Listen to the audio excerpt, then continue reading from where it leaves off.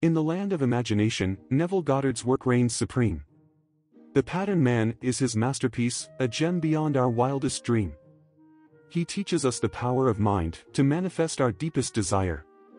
With his techniques and wisdom, we can set our lives on fire. The first key takeaway is to assume the feeling of the wish fulfilled. Our thoughts and emotions must be in harmony, not once, but still. For what we believe, we shall receive, as Neville so poetically said. With faith and persistence, we can bring our dreams from the realm of the dead. Next, the pattern man reminds us to always live in the end. To imagine the scene where our desires have already begun to blend.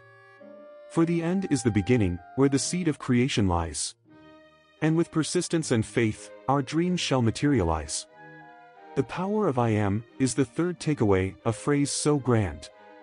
It is the key to unlock the door to the kingdom of the promised land. For whatever follows I am shall come to pass, without a doubt. So choose your words wisely, for they will manifest, no need to shout. The pattern man also teaches the art of revision and sleep. For in our subconscious, our desires we can deeply keep.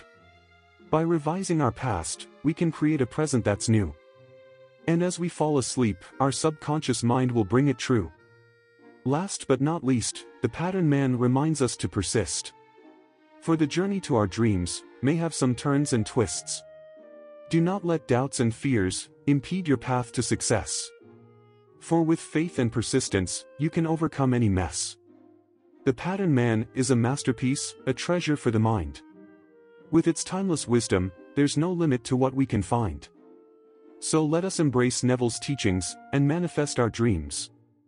For with the power of our thoughts, we can create extraordinary streams.